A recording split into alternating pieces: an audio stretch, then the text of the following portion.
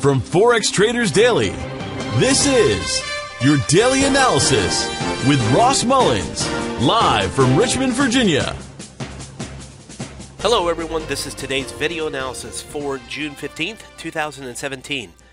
Today, we're going to be taking a look at the EUR USD, the euro, versus the US dollar for today's trade analysis. Now, of course, yesterday we had the big news out of the FOMC, the raise of interest rates causing the US dollar to have a surge across the board, across all the US currency pairs.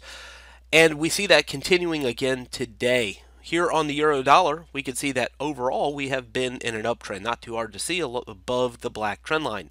Over the past few weeks, though, we've been in a period of uh, congestion ranging at the very top of the trend where we've been bouncing around inside the black box between the orange zone, that's 112.60.85, and the pink zone, 112 down to 111.65 and we can see we've been bouncing around in there for several days. We're challenging the bottom of that range or congestion, the box, and the trend line today. You can see yesterday's candle, big candle or a big wick sticking on top of the blue candle, falling from the orange zone down to the pink zone today, pressuring the bottom side, pressuring 1165. If the market can break through 1165, we've already seen it one time break all the way down to the green zone. So it wouldn't be too difficult to see at least a push from 1165 down to 1.1110, which is the green zone, which is pretty much what happened here. And of course, a break through the green zone, a further movement lower would be expected. But really, the biggest news here today will be the breakdown of this pink zone, 1.1165. Now, we want to be sure of it. We don't want a false breakout. This ended up being a false breakout where it dipped its toes into the water, if you will, down to the green zone, suddenly reversed and went back up. We don't want that to happen to us. So, how do we protect ourselves in case the market is going to turn right back around and go back up?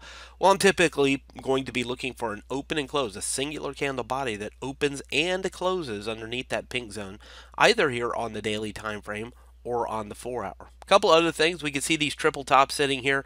One, two, three times testing into 1260, 1285. So giving me some confidence to look for the short. Of course, yesterday's US dollar move also giving me some confidence to look for that as well. Now, if you were in the live trade room yesterday, you know we discussed the, the ongoing short from 112.65 from the orange shaded area, currently sitting nearly 100 pips of profit on the trade. If you are in that trade, you should be protecting profit on that trade. This is a new opportunity that we're looking for with the breakdown of the trend line and the pink shaded area. Zoom it in a little bit. You can see the one, two, three, four, five days or so, six days sitting on top of the pink zone.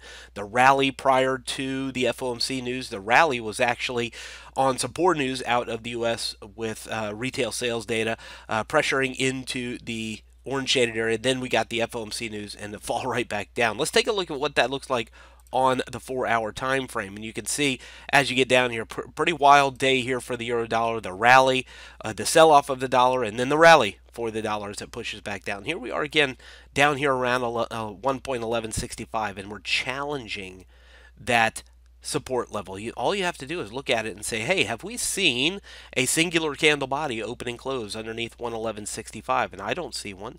Uh, we see it even challenging the black trend line with no real open and close yet underneath it. So again, I need a confidence booster. I don't want this to be a false move trying to fool some traders into going short. I want it to be a real deal move and uh, look for that confident move underneath 11.65. So an open and close will give me confidence. And really, it can open and close and even retest back up here into the the pink zone a little bit. The worst case scenario is, is once it gets underneath it, we don't want it to get back above it. That's the that's the key point. Once it's under it, we don't want it to get back above it. If it does, we could see what happened back here. It got underneath it and then got back above it. So we don't want it to get back above it. That's our risk in the scenario. So if it breaks the pink zone, we take the short, we target the green zone as our tar first target. Of course, it could go lower all the way down here to the yellow zone at the bottom of the chart, but the, the green zone is our first target. But we need the breakout, to sell towards the green zone. The risk then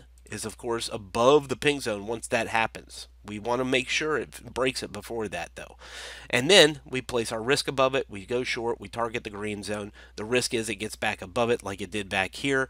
Uh, we wouldn't want that to happen. Now, we don't know if it's going to break yet. So we don't want to take the short until there's the confirmed breakout underneath the pink zone. Otherwise, a turn back higher from here, if the current candle or even the next candle turns back higher from here and gets back above 112, back above the pink zone, that could be the clue that the uptrend is going to resume and it's going to go right back up to the orange shaded area up here. So if you're a seller, and looking for a carry through on the US dollar momentum from yesterday. We need the breakout underneath a 111.65, targets 111.10, or even down here into the 110.20s.